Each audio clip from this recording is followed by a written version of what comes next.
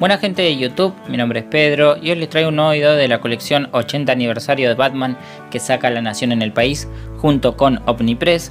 Tenemos la entrega número 6 a 299,90 y recargo en interior de 14,10. En esta entrega tenemos Arquitectura Mortal. Este cómic debería haber salido el jueves, pero se atrasó un día y salió este viernes. Pero bueno, acá lo tenemos. Ahí vemos en la tapa al murciélago, vemos a Batman esto tiene la casa sectorizada, como siempre les comento. Vemos a Batman de cabeza y Ciudad Gótica de fondo. Vemos que en el lomo el número es el número 15 y vemos cómo va continuando el dibujo.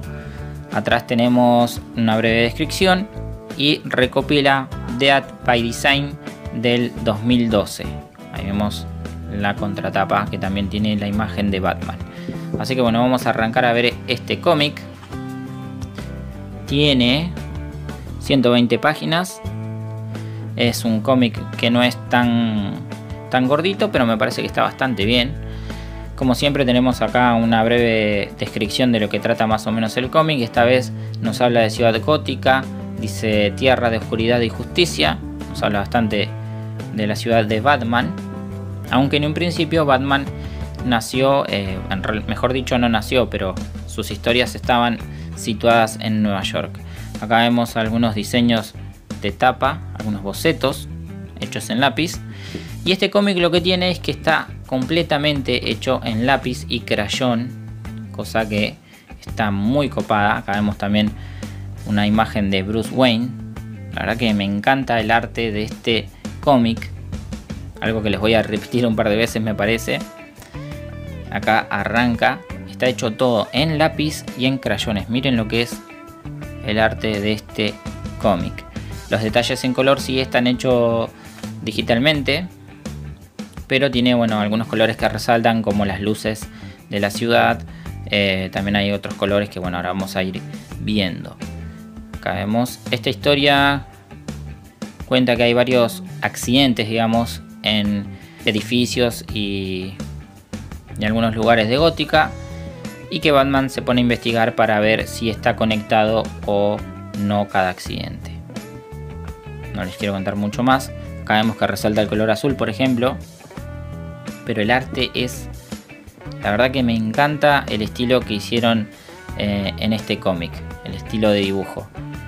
Es muy, pero muy lindo. Miren lo que es este laburo. Porque esto, dibujar esto en lápiz. Sin ayuda de, de nada digital, de computadoras ni nada, es un trabajo tremendo.